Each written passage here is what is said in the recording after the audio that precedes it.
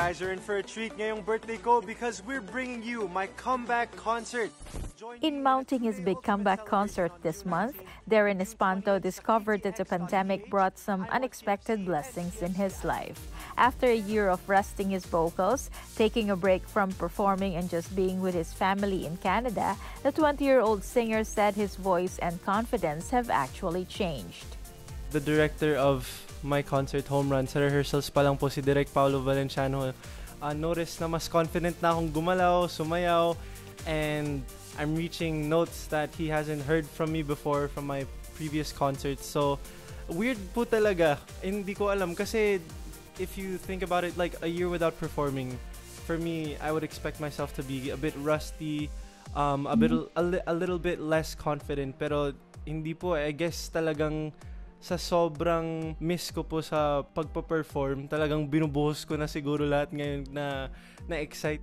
Missing the stage for a year also made him think bolder in his creative choices for his upcoming home run concert.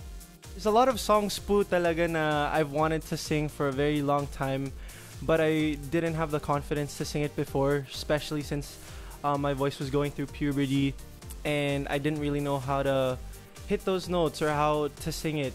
I'm very happy with the whole setup of the concert from the stage to the people I'm working with to syempre po yung set list as well because these are songs that I personally chose to sing and I'm so happy that I have people who are there to help me make this show um, what I visualize it in my head.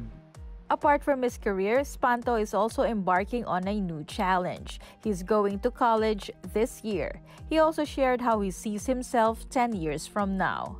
Maybe I'll be settling down, um, you know, be married, or at least have someone there. Who knows? It's really weird what the future holds, and it's very unpredictable.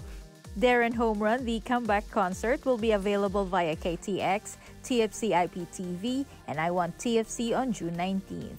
Yong Chavez, ABS-CBN News, here in Hollywood.